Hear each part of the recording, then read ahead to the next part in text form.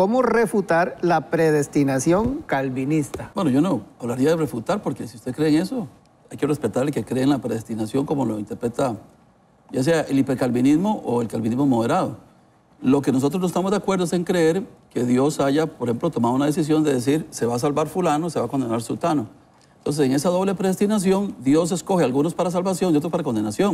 Entonces, ¿dónde queda el tema del libre albedrío, la capacidad del hombre de escoger? Esa es la manera en la cual uno lo refuta. El mismo evangelismo quedaría... Eh, no tendría sentido salir a, las naciones a predicar el evangelio si ya están los que son y ya están fuera los que, los que están fuera. Entonces, eh, creo que el sentido común nos enseña de que Dios invita. Las parábolas de Jesús son eh, invita, y si no quieren, eh, fuérzalos, invítalos, tráelos.